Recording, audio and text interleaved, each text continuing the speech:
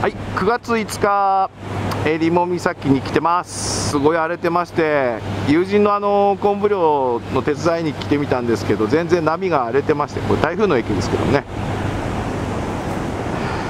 今日のトピックスはああ仲間が来てますけどもこれですね。日高見せ場屋さんですね。はい。1年に一度は見ないとこんなとこにいるっすよで今日はあの北海道新聞社の取材もあります。はい友人の浜本さんです。はい。えー、こういうところにいるんですね。素晴らしい、えー、もう十何年通ってるか分かんないですけどねもう。ほぼほぼ。これも素晴らしいですね。はい。はいこれからまた動画上げていきます。北海道新聞社のカメラマンの浜本さんですね。昔からお世話になってますけどもここで植物エネルギーゲットの情報ですね。多分同心に掲載されると思いますけれどもこの下でね素晴らしい。プロのカメラが飛ぶね画像をぜひ見てみたいと見ていただ見ていただきたいと思いますね。はい取材が始まりました。えー。植物エネルギー仲間の2人もねいますね。はい。やっぱり昆布漁手伝いに来てるんですよ今日ね。それと取材と合わせましてですね。はい。浜本さんが指示出してますね。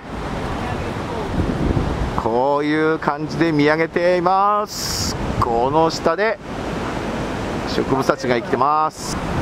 こうですからね。素晴らしい。でここにこれ多分新しい株ですね。すごい。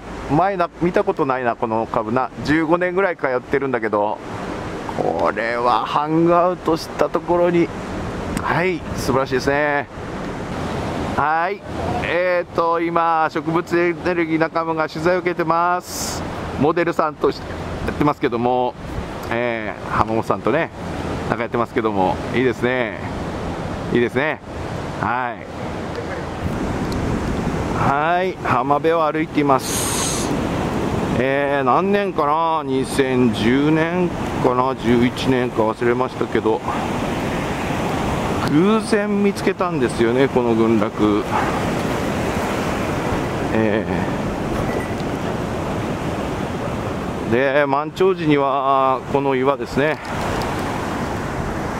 海のおこれですね。波かぶっていけないとこで干潮時だけ行けるとこなんですけども、えー、冬真冬も来ますと、えー、この岩壁一面が氷瀑になってましてね、えー、岩壁からあのー湧き水が染み出てることが分かる、大体濡れてるんですね、この辺ね。素晴らしい。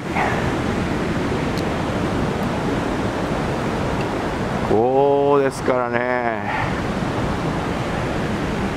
こうですから、すごいな。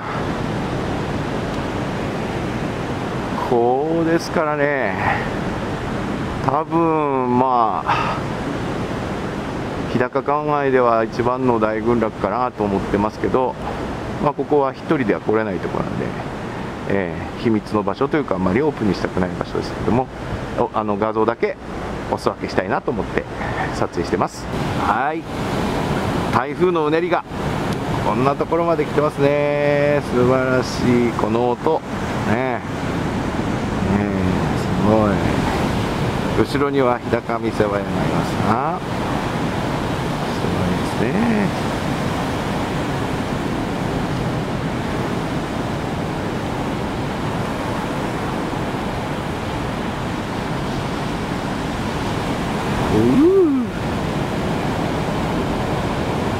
いやいやなんか邪気が晴れますよねどんどん。